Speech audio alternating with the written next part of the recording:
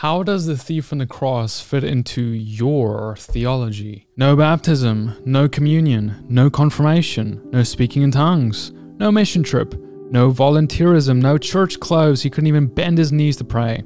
He didn't say the sinner's prayer, and among other things, he was a thief. Jesus didn't take away his pain, heal his body, or smite the scoffers.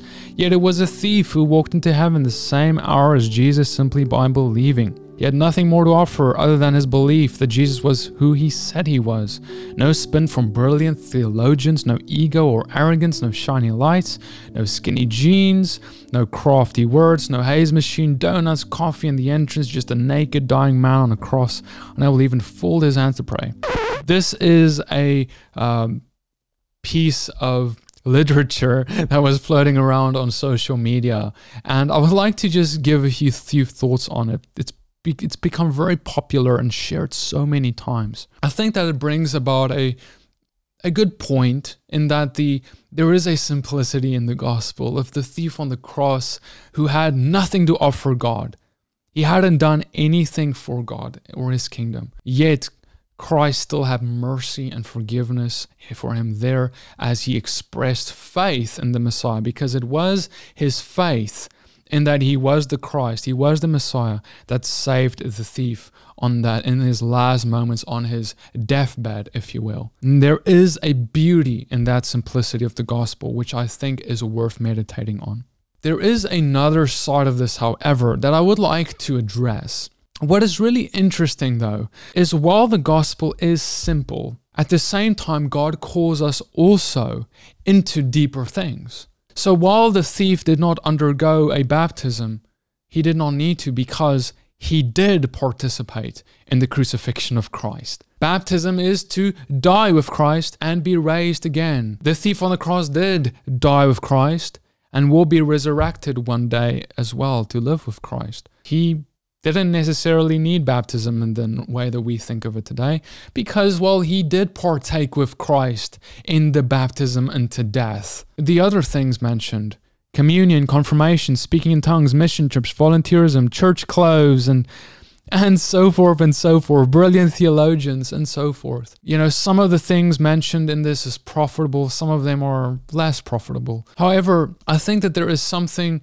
worth noting. Dying like the thief on the cross did, as ultimately becoming a believer, is maybe the worst way to do it. Because ultimately, you don't want to be the person who, on your deathbed, become a believer. You don't want to wait till you are on your deathbed to realize you messed up and it's now time to give your life to God.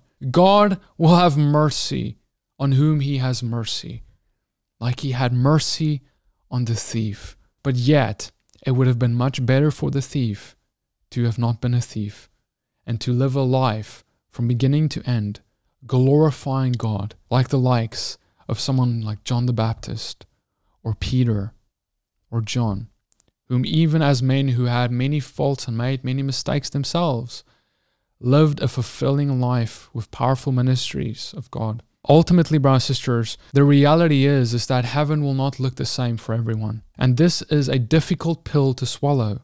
But this is what the Bible teaches that there is a difference. Jesus said himself in Revelation 22, verse 12 Behold, I am coming soon, bringing my recompense with me to repay each to what he has done.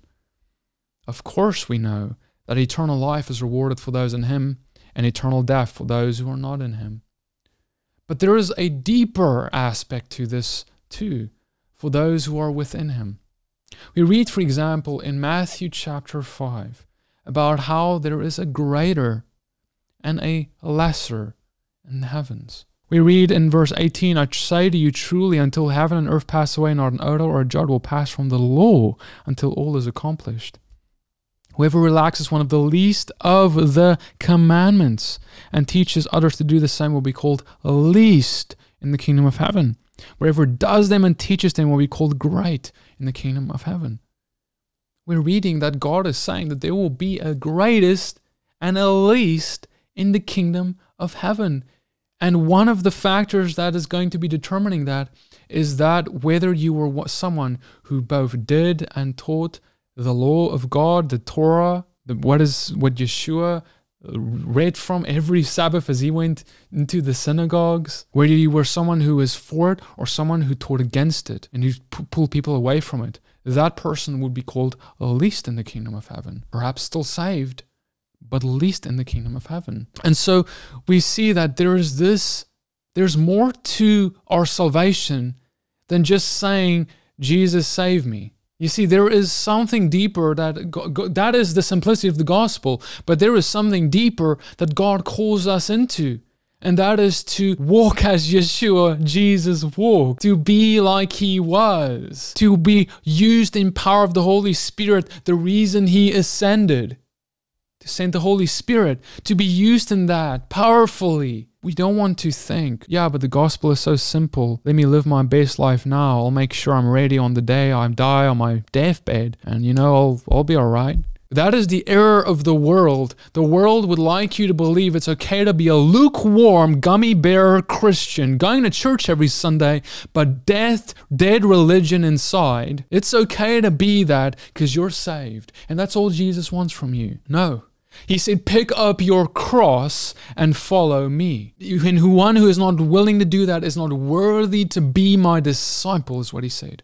If had the thief on the cross's circumstances been different, had he been someone who a week before his death on that cross gave his life to Christ, he would have a great responsibility to live radically different from the way he used to. Otherwise, that faith would not be genuine. And so we know now know that it is not just by a profession of faith that we are saved, but faith without works is dead.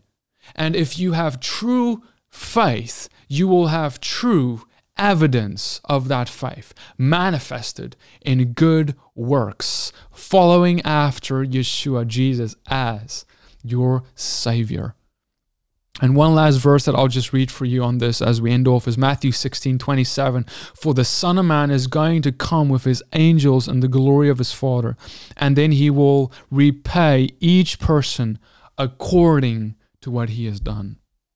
The thief will be repaid according to what he has done.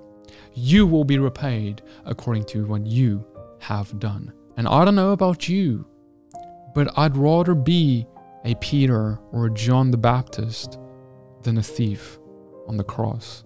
And so, brothers and sisters, today is the day to give your life to God like never before. Today is a day He calls you out of lukewarm Christianity to become on fire for Him and lead a meaningful life as a disciple of Christ. Father, I pray, Lord, for everyone listening right now, Lord, you would convict their hearts of their sin, your righteousness, and judgment. Father, I pray, Lord, that you would lead us into your righteousness so that we can come close to you and sit close to you at that table when we are with you in the kingdom. We pray all this in the name of Yeshua the Messiah. Amen. If this has blessed you, subscribe to this channel for more videos just like this one. Like this video, please. It helps out the YouTube algorithm to push this video up. And I'll see you guys in the next one. Many blessings and shalom.